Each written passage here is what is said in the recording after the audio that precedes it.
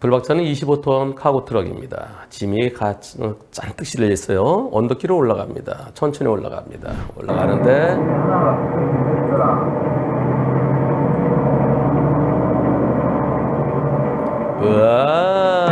으아 하하이 참나 나중에 어떻게 됐을까요? 예 이렇게 부딪혀갖고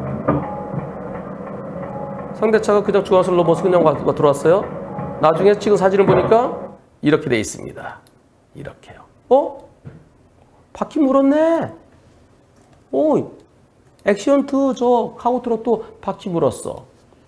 카고 트럭 운전자는 상대가 중앙선 넘어왔으니까 나 올라가는데 갑자기 넘어와서 예, 그 100대 빵으로 생각했어요. 근데 보험사에서 아 경찰의 결과가 나와야 돼요. 좀 기다려 보세요.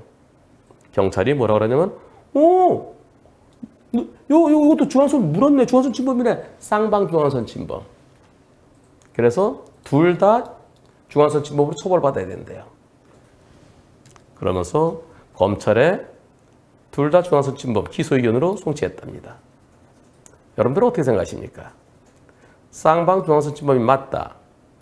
승용차만 중앙선 침범 사고다. 투표 시작.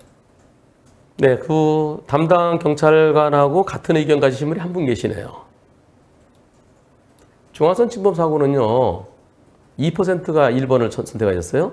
중앙선 침범 사고는 정상적으로 지나간 차에게 방해되는 겁니다. 내가 중앙선 침범해서. 그런데 이 차가 누구한테 방해했나요? 요거 때문에? 그리고 저렇게 큰 차는요, 진행할 때 옆에 나무, 나무들이 많잖아요. 이런 게 막 스치잖아요. 그럼 씩 하면 막, 막 여기 상처나고 그러잖아요. 차에 긁히고. 그래 조금 이렇게 갈 수도 있죠. 차가 안 올 때는. 그리고 여기 보세요. 요게 뭔가가 구조물이 하나 있어요. 저 구조물도 좀 신경 써요. 저것도. 예, 은근히 신경 써요. 은근히 신경 써서 살짝 갔다가 다시 돌아갔어요. 돌아갔는데, 으악, 여기서 빵 한다고 제 시간 되겠어요?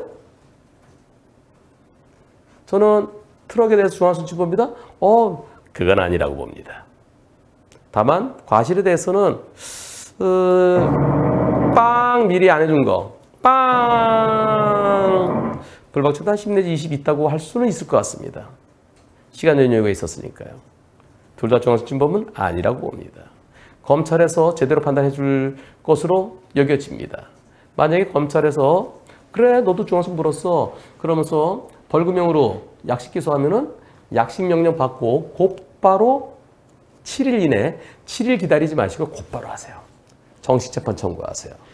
그래서 국선 변호인 선임해 달라고 그래서 그럼 법원에 어, 선임해 주죠. 그래서 무죄 꼭 받으십시오. 결과 나오면 꼭 알려 주십시오.